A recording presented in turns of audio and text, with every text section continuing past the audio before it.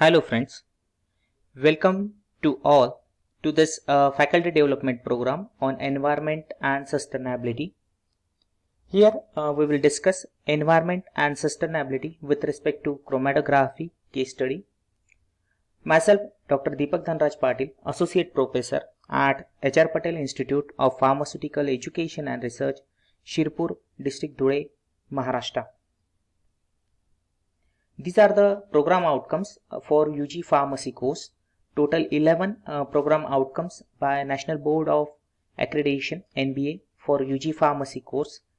The environment and sustainability, here you look out, it is at number 10. It is the domain independent program outcome for UG Pharmacy course. So if you look out what the statement of PO environment and sustainability as per NBA, it is understand the impact of the professional pharmacy solutions in societal and environmental context and demonstrate the knowledge of and need for sustainable development. So we look out environment and sustainability in concern to pharma industry. Environment and sustainability is a growing concern in pharmaceutical industries also. Facilities and operations that are designed to conserve resources such as energy and water can improve a company's green image as well as reduce its manufacturing cost. Although there are some instances where GMP requirement uh, may not be most energy and water conserving mode of operation, in future uh, it's possible to attain both uh, GMP compliance and the efficiency. Big pharma companies have already uh, made progress toward reducing water, energy and waste, thus improving the carbon footprint. So, uh, in this case study, environment and sustainability uh, with respect to chromatography. This particular uh, chromatography topic, uh, it is into the course uh, B Pharmacy and M Pharmacy also. Uh, for final year B Pharmacy and first year M Pharmacy, it is there.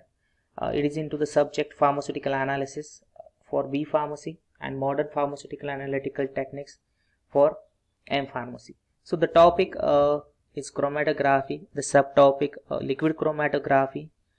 Liquid chromatography means uh, the chromatography process in which liquid to be used as a mobile phase and the technique uh, we look out that is a high performance liquid chromatography that is a HPLC. So what the chromatography is chromatography comprises means includes a group of methods for separating a molecular mixture that upon, that depend upon differential affinities of solute between the two immiscible phases that is a one is a stationary phase and another is a mobile phase.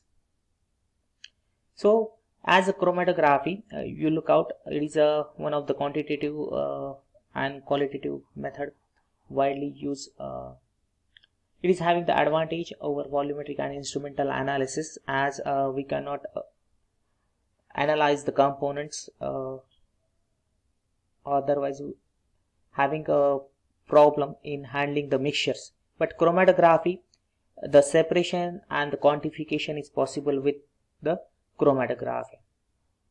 So as the chromatography uh, classified uh, depending upon the modes if you look out it is classified as adsorption, partitioning, ion exchange, size exclusion and affinity chromatography.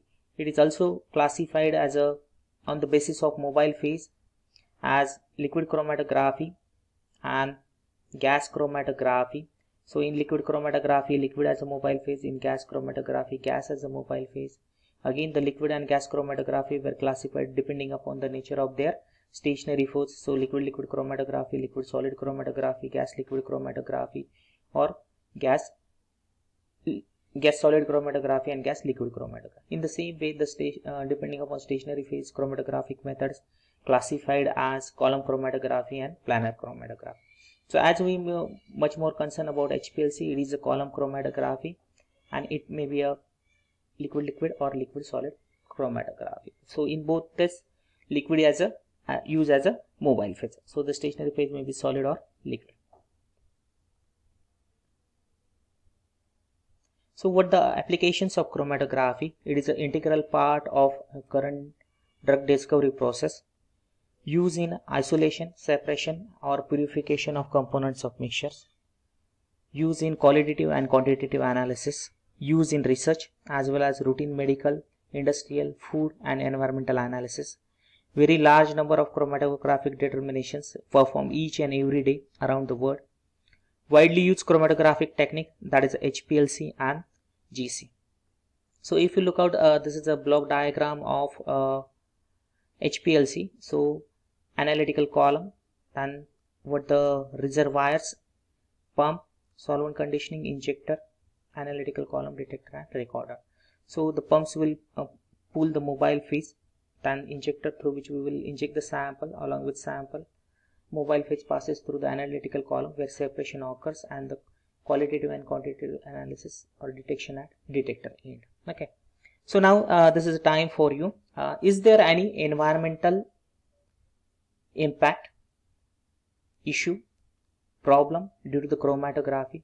So you pause uh, the video for the two minutes it is a time for reflection spot you think for the environmental issue problem challenge with context to chromatographic methods. So you have to stop the video for two minutes okay? And you have to think uh, is there any environmental impact issue problem due to the chromatography? Okay so as you finish so traditional uh, liquid chromatographic methods used for analysis of pharmaceutical active compounds require large volumes of hazardous organic solvents and generate large amount of waste. Most of the solvents used are volatile and harmful to the environment. In medicinal chemistry discipline, the synthesis, separation, purification, crystallization of the compounds it is a major contributor of solvent waste the pharmaceutical drug discovery lab, here also the large waste generation from the chromatography as different nature of adsorbents as a stationary phase and wide solid composition and consumption of mobile phase occurs in these laboratories. Again, uh, the recent need is of biological drugs and the biopharmaceutical drugs. So the analysis, purification of recombinant and engineering proteins uh, monoclonal antibodies the requirement is uh, their recovery with high energy with high yield and purity. That was the issue. The biopharm for biopharmaceuticals uh, high price of adsorbents high water consumptions uh, during their purification required. The enantiomeric separation uh, uh, for that chiral columns to be required. So for this biological and biopharmaceutical drugs or uh, for enantiomeric separations the time consuming batch process uh, chromatographic methods were there and they includes the high cost. The environmental impact uh, of sample preparation also to be there uh, prior to chromatographic analysis. With the sample uh, collection and the preparation the consumables to be involved in that. Again uh, there is environmental impact of the chromatographic method is often determined by location of the instrument with respect to sample collection point. The traditional approach to the chromatographic uh, analysis involves collection of the sample, transport to the laboratory and final analysis. All these activities uh, generate the negative impact onto the environment. Uh, with concern to the liquid chromatography, theoretically one continuously operated analytical liquid chromatograph equipped with a conventional LC column 15 to 25 centimeter length 4.6 mm internal diameter packed with uh, 5 micrometer particle size and operated at a flow rate 1 ml per minute produces 1500 ml of waste per day meaning nearer to or approximately 500 liters of waste per year. So acetonitrile and the methanol, they are the most commonly used organic solvents in HPLC, but they generate an impact onto the environment and can have the negative impact onto the health of the analyst also.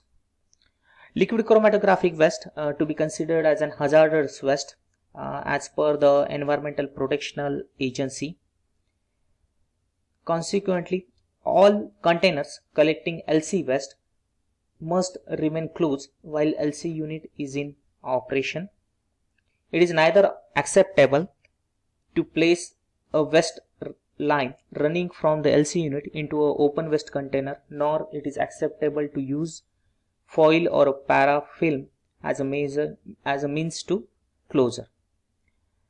When silica based columns are used the temperature should not exceed uh, 60 degree centigrade when acidic or uh, basic buffer eluents to be used because of this uh, limitations again the properties of analytes of interest and stationary phases must be carefully considered before uh, elevating the temperature of LC replacement of organic solvents to be required okay? So as we discuss environmental impact of chromatography on environment we need to look out for sustainable alternatives to chromatography. So chromatography be more sustainable and less time consuming for the chemist the alternatives to be practical one not slowing down the research and development. So we'll look out in part 2 which are the sustainable alternatives to the chromatography. These are the references. Thank you, thank you, thank you.